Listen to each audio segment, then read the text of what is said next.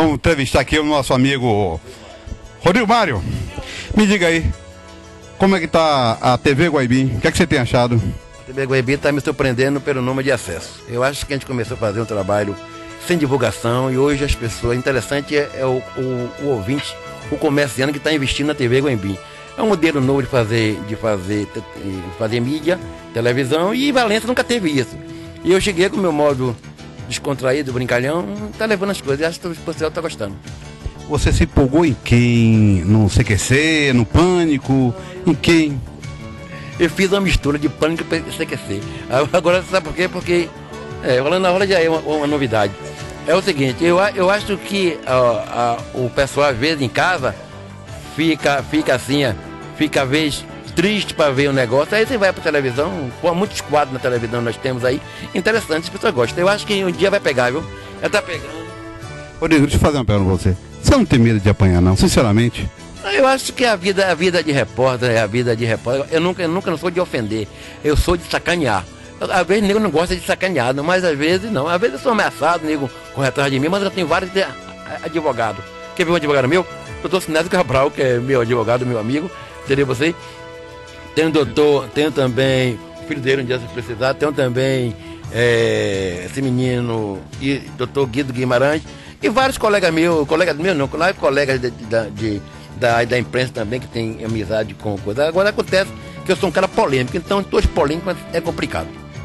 Mas você é do tal que quanto mais sacanagem, melhor, né? Não, eu acho que essa é a vida. Se você não sacanear, você sacanear depois. E, se, e se alguém sacanear você, e aí? Agora tá me, tá, tá me sacaneando, tá sendo, tô sendo entrevistado por você. não, minha intenção não é sacanear você.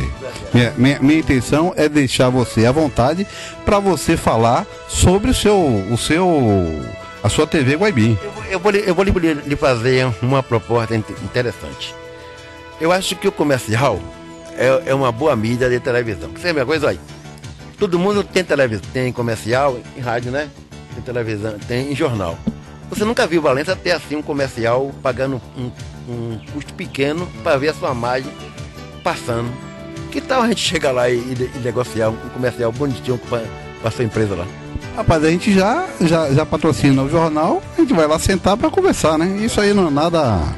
Não, eu, eu acho é uma proposta que eu estou fazendo agora. Sabe por quê? Porque eu acho que isso aqui, essa televisão, ela vai tomar um número tão delicioso que eu acho que quando dia quiser entrar na, na, na TV, né, que é para entrar um comercial, vai ser complicado, porque ela está crescendo, o custo é grande, o nosso estúdio é um estúdio de primeira, entendeu? Convido até, até ouvir, dá um papo lá comigo no meu. Eu tenho um programa chamado Os Bastidores. É interessantíssimo, são uma hora de bate-papo, as pessoas falam o que quer, a gente corta, a gente edita. As pessoas estão assistindo. O importante é ver que as pessoas assistam.